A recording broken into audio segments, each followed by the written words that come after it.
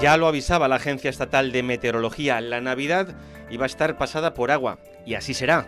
Las previsiones apuntan lluvias generalizadas en todo el territorio que serán más probables en las horas centrales del día. No se descarta que una vez más la jornada arranque con niebla.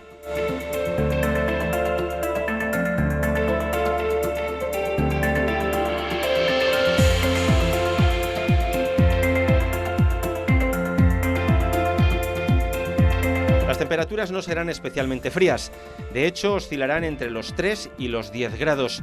Los valores más altos se esperan en Villanueva de los Infantes, los más bajos en el centro de la provincia, donde podría haber 8 grados de máxima.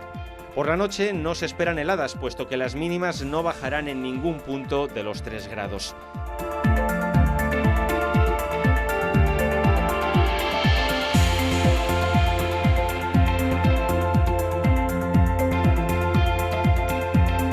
Ya lo ven, es prácticamente imposible que mañana veamos el sol.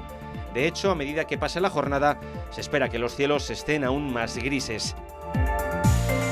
De cara al domingo no habrá grandes novedades. Será también un día gris. Los cambios comenzarán a llegar el lunes.